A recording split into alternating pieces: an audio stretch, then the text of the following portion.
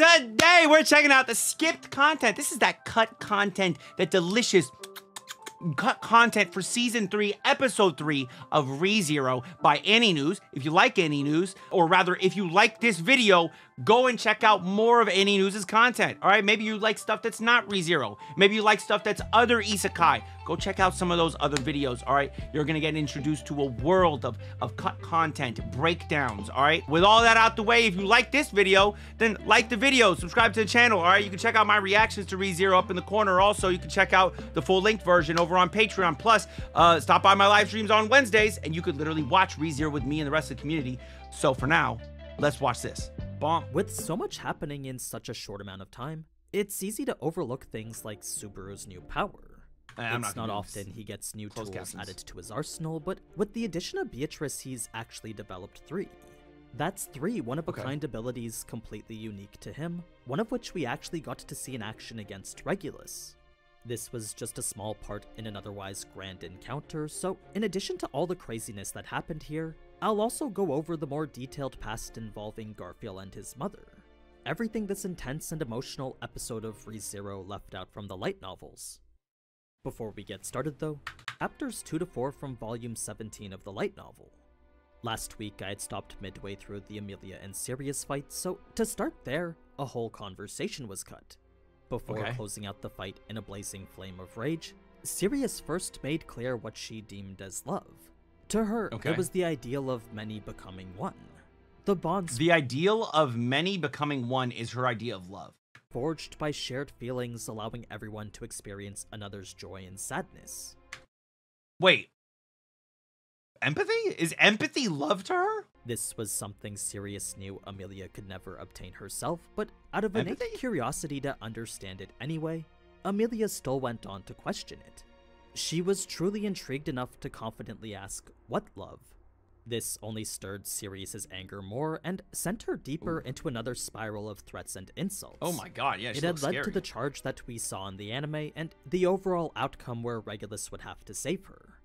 If you're wondering why Subaru couldn't do anything to save her himself, it's because Sirius's authority had taken effect on him. Mhm, The fear mhm, Tina had being Sirius's captive quickly spread in an infinite loop between him, Lusbel, and Beatrice.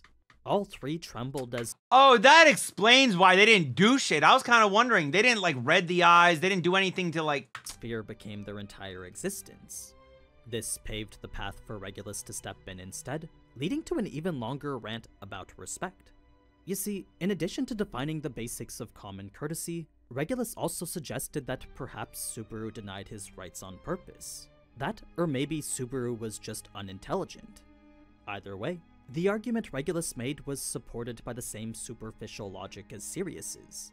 What I mean is that, sure, their remarks may sound reasonable when they're speaking, but that forced rationality was always underpinned by these insane statements nestled within. It was obscenity hidden behind a facade. I like that. I like that.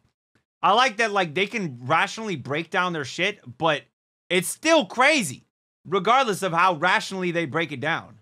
Out of normalcy. Regulus then went on to directly contest Sirius's idea of love since her clinging to a dead man was fundamentally flawed. Kind of spitting there. Reason being that, for him, if the person he loved died, then it only made sense to proactively search for another. That was what Regulus Oh. believed to be a law of the world. The Oh, actually, you know what? I go back. Her loving someone, I would say that there's levels to this, right? I think that you can still love someone that had died, but I feel like it is kind of wild to be obsessed with someone that has died. You know what I was going to say? Unless maybe you spent like an extremely long amount of time with them. And when you think about it, if we do find out that Sirius is in fact Fortuna, she did spend quite a while with Beetlejuice, even if it wasn't like, you know, even if it wasn't like an actual romantic relationship. There was definitely like they had it. It just wasn't like a, a official. I don't know how to describe that. But yeah, hers feels like more of an obsession than like just normal love. And I think that in in time you learn to move on from these things, right? extent of nature is. And then for for for Corneas, bro, Corneas is like I I Loki. I'll say he kind of feel a little lusty. And this is what I've mentioned before about all of these different uh, Sin Archbishops. they kind of have so many similarities to the sin that they do not represent. He knew it. To discipline. Like he got all these wives. He's over here talking about virgin and shit. Yeah, I feel like he's a little lusty. They that made Sirius no different than garbage, and that was a notion that didn't sit too well with her. So, as she swung her chains out of pure unrelenting anger, the ones that looked as if they had made direct impact did nothing as they bounced right off of him. It was as if they were reflecting right off the side of his face. This made it clear that Regulus had the advantage, which made Subaru worried that he might just kill Sirius. It would mean the end for him and everyone else in the square. Luckily, he didn't, but the fear of facing down two archbishops was starting to get overwhelming. Yep, if of course. And then that fear, him bomb, bomb, bomb, bomb, way, bomb, bomb, then bomb. Subaru knew that he wouldn't have been able to do anything. So it's because she was there and lending him her power that Subaru felt he could stand and actually do something. It was enough Eh. motivation to produce a somewhat decent attack on Regulus. Subaru knew that he wouldn't be able to hurt Regulus, but by at least binding him, he thought perhaps he could hinder his movements. Shamak was then supposed to nullify his senses, but just as we saw, it didn't have any effect whatsoever. which is It had crazy. forced Subaru to use his new special ability, EMM. The first of three spells jointly developed by him and Beatrice, and the only of its kind to exist in the entire world. As Ooh, an that's cool. spell activated through the transfer of mana from Subaru to Beatrice, Subaru would send mana directly from his broken gate, then, in return, an invisible magic field would cover his entire body. The result was an absolute defense which physically cut him from the world itself.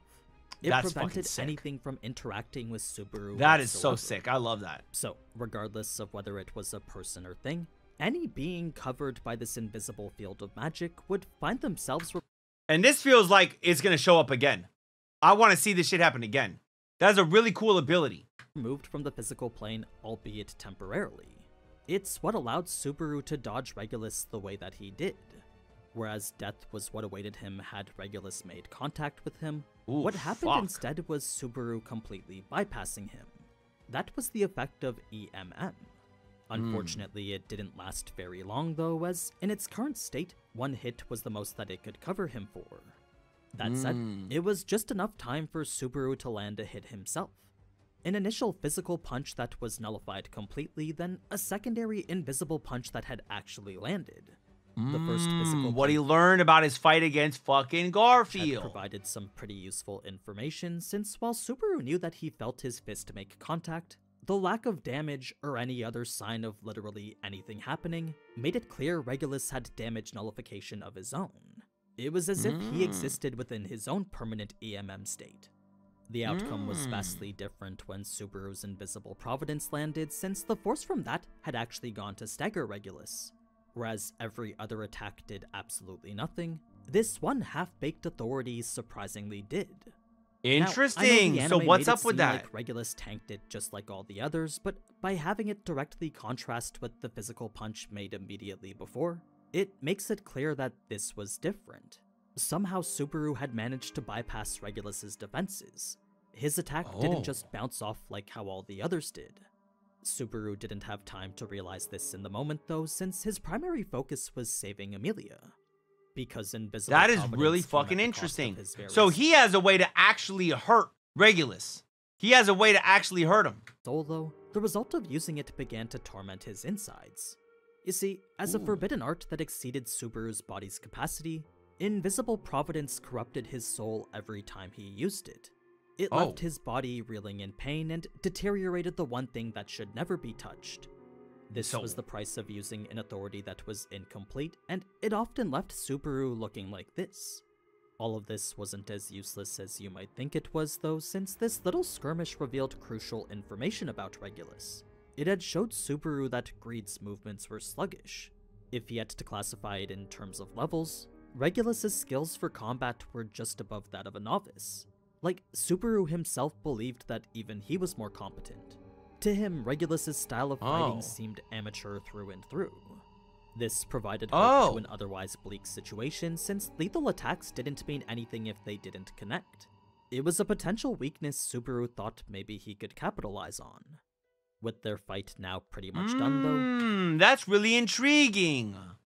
So he might be strong as fuck and capable uh, in his actual like fighting. His fighting ability is weak. Like, yeah, he's strong. He can hit you with this attack that fucking blows your leg off, right? His defense is crazy. You can't even hurt him. But like the actual skill, the technique that goes into the fighting is like a novice. And that's likely because he relies on the strength of the uh, those those uh, attacks and the fact that he can like basically not take damage. He relies on those things. Regulus would go on to speak about why he wanted Emilia. Apparently, he didn't uphold his vow last time, so in accordance with his ideal of seeking out a new partner, Regulus resolved to do so this time. He wasn't gonna yield Ugh. when it came to living the tranquil life he thought he deserved. He would protect and Oh, he just Emilia kidnapped her and, like, I'm gonna marry her. And he would do so just because it was his right to. Everything was also he could maintain his own small slice of happiness. If it meant protecting that, then Regulus had no problem exploiting the powers he'd been granted. So, once again, Subaru was confronted with more twisted logic, but what terrified him more was the conviction with which Regulus spoke it with. For the first time, Subaru felt genuine fear from Regulus. It was as if the words he spoke were how he truly felt. This led Subaru to deny Regulus vehemently, stating how Emilia was his bride instead. It wasn't waifu like how the anime translated it, but instead bride, which is a lot more fitting given the context. Now, Oh, it was in the oh, meantime that wow. Beatrice was charging up, getting ready to use the third of their original spells. They still didn't know how Regulus's damage nullification worked, but whatever this next attack was, it was apparently very much worth trying. It was right before Subaru could unleash it, though, that Sirius would intervene and stop him, revealing her passionate interest in who Subaru was now. Before she'd only ever been looking at Emilia and Beatrice, but now she was staring directly at him. So, to Subaru, she saw the of fucking unseen hand. prominent family in the witch cult was always just a joke that he'd only entertain in passing. To find out it was actually a legitimate husband and wife team, well, that was way beyond anything he'd ever expected. It made Sirius's hatred towards Emilia all the more confusing since her ties to Satella should have made her an object of worship. Her desires directly conflicted with what Betelgeuse wanted. Everything came to an end once the noon bell Yeah, but I think it's pretty obvious that like if if Beetlejuice is like, oh, I love I love more than I love you, Sirius, I love Satella." Oh. Oh yeah, then I fucking hate Satella because you like her more than you like me. Rang, which surprisingly enough, Sirius I think it makes perfect sense. Though she clearly wasn't satisfied with the outcome, whatever was compelling her to move on, it was much more important than her reunion with her beloved. She did, however, exit on one final affirmation, once again proclaiming her ideology, except this time mixing parts of Betelgeuse's. Specifically, the notion that pain makes you savor life, and life exists so that one can prove their love. So, if love to her is the wish to become one, then this joining of pain was a true expression of it. It was a Sure. statement that went to challenge Beatrice's own idea of love. She, however, retorted with her own example, basically saying how her and Subaru became one long ago, yet by not becoming anything like Sirius, it was enough to deny everything she stood for. She had essentially stood her ground and Mm. rejected the Archbishop in front of her. Beatrice didn't Mm, I like that. focused on that for long, though, as healing was the main priority now. Unfortunately, Wrath's authority didn't share that healing, so if Beatrice wanted to save everyone, then she would have to do so person to person. Fast forward now to when Subaru wakes up, and aside from retelling the situation to Al and Felix, the only thing worth mentioning is the special condition binding Subaru and Beatrice. As a special type of spirit, Beatrice couldn't accept mana from anyone other than Subaru. It's a condition that's effectively sidelined her since Subaru simply can't supply sufficient amounts of mana. It's the main burden Beatrice constantly has to deal with. This made Subaru's options very limited and provided even fewer ways to navigate this. If we were to look on the bright side, though, I guess the only bit of good news was that Beatrice's condition wasn't gonna worsen. She just needed help waking up, something no one present could do right now. Crusch would then arrive to discuss what happened, meeting Subaru in the field hospital since to ask Subaru to come to her would be inappropriate. It's the stage for the meeting that we saw in the anime, which is actually the point where the episode ends. The stuff with hmm. Garfield happens all the way after, essentially serving as a bit of a flashback. So, to switch Okay, gears to let's that, jump into the, the Garfield best place stuff. to start is at the house. It was at this point that Garfield was still uncertain whether this was actually his mother or not. The last time like he'd her, seen but- her was when he was just a baby, and the only reason he was even able to recognize her now was simply due to his vivid trial back in Sanctuary. That made Hmm. it clear that his mother died searching for their father, so as far as Garf knew, the reunion he truly desired was nothing more than a distant fantasy. To him, this Liara Thompson could not be Alicia Tinsel. She was just someone coincidentally identical. That's what Garfield wanted to think, but everything about Licia's behavior indicated otherwise. It was then that Garfield would remember Licia's past, recounting every tragedy as it happened to her. So it all started with How the fuck did he know this shit at one years old? family's debt, leading her to be sold to slave traders while still a child. You remember Those shit slave traders were then raided by Demi what the fuck is this? She came to this world from the from the from the Mushoku Tensei world. Human bandits, and Licia would then become a slave to them instead. They would eventually abandon her after she became pregnant. Why is he using Frederica, Mushoku Tensei leaving her to be That's picked funny. up by yet another group of bandits.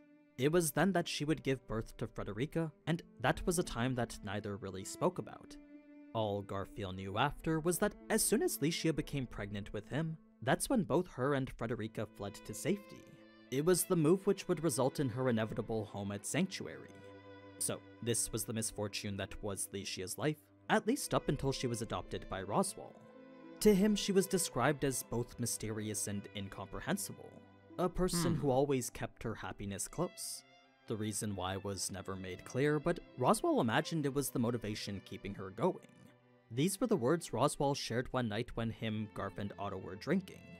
Garfield's own impressions were a little bit different, though, since Oh, so that's how he knows more about his his mom because he heard about his mom from other. For his mother to leave a peaceful place like Sanctuary, well, that just didn't make any sense to him.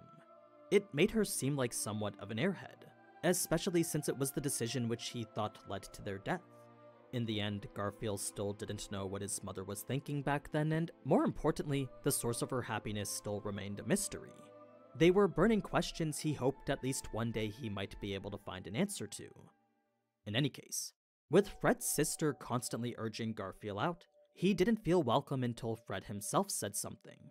The way he Hmm. came up and grabbed onto his sleeve froze Garfield and filled his head with regret.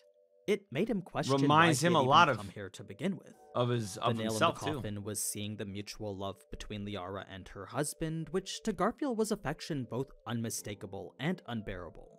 Perhaps She it made him feel like family. he was being robbed of something that was rightfully his. Whatever it was Hmm. stirring his emotions, the need to run away was so overwhelming that he didn't Yeah, I get it. I understand this like conflicting feeling that he he likely felt. He feels both like he deserved the opportunity to have a, a loving mother and father and like a, a, a happy family, all four of them together. Like he deserved that opportunity, but also he doesn't want to ruin the happiness she has by introducing himself as an element that like fucks it all up. He just wants her to live in this sort of ignorance of a former life and be happy. Didn't even realize he was dragging Mimi while doing so.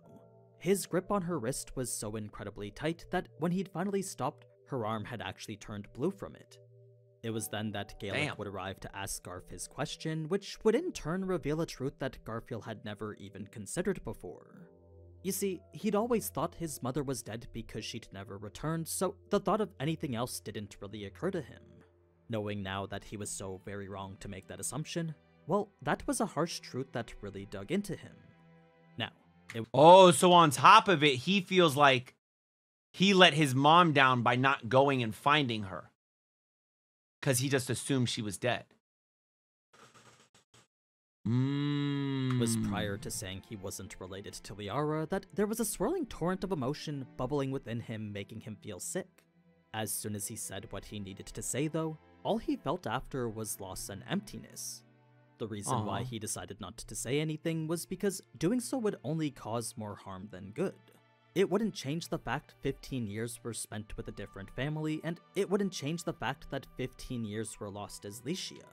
The only thing it would do is burden her with the guilt of knowing she left behind something precious. And it could potentially hurt the family dynamic that she currently has. So, to put that burden not only on Liara but also her family too? Well, Garf knew that that wouldn't be fair. His self satisfaction didn't take priority over any of that. Sure, he alone would be the one to gain closure, but everyone else would go on to suffer. It was a burden he couldn't share, not even with Frederica or Ryuzu. So, in order to protect everyone else, Garfield knew the best thing to do was just abandon his own desires and do his best to keep everything to himself. That's really what he wanted to do, but yet again the inner conflict within him was tearing him apart. As much as he wanted to keep all of it inside, Garfield just couldn't find the strength to follow through with it. It was a constant back and forth of him wanting to be the tiger he always thought he was and the true emotion he couldn't keep contained anymore. In the end, his inner thoughts had turned into some pretty deep poetry. Tiger, tiger, where have you gone? What do I look like right now?